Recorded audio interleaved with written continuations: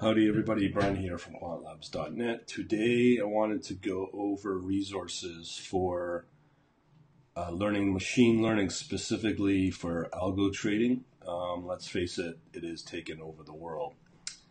Um, for those that are wanting to get into the Python programming for trading, uh, I've got the course available on uh, the uh, crypto and forex trading space. So somebody sent me this video uh, about machine learning. You can just watch it. I'll put it on my blog, and uh, it's quite good.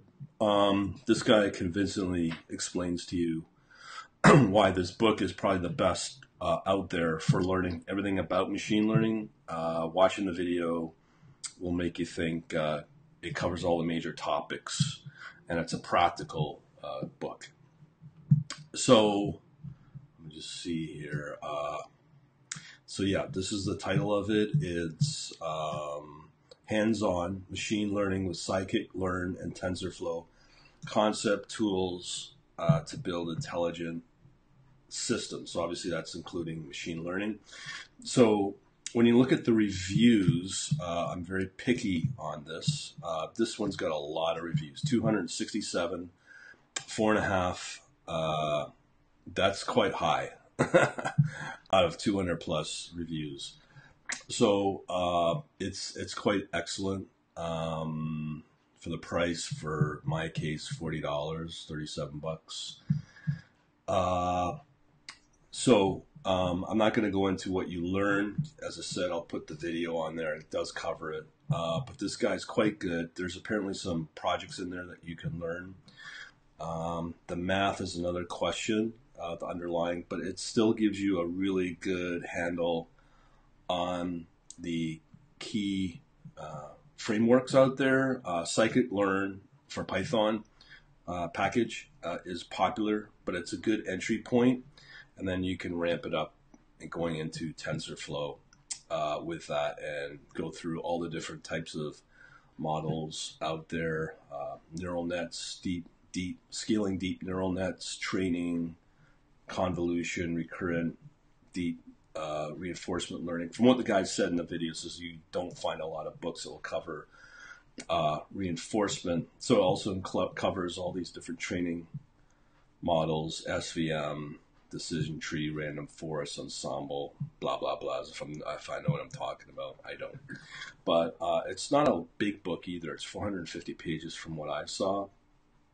So um, this is something uh, worth looking into. Um, so for the money, obviously it's pretty good.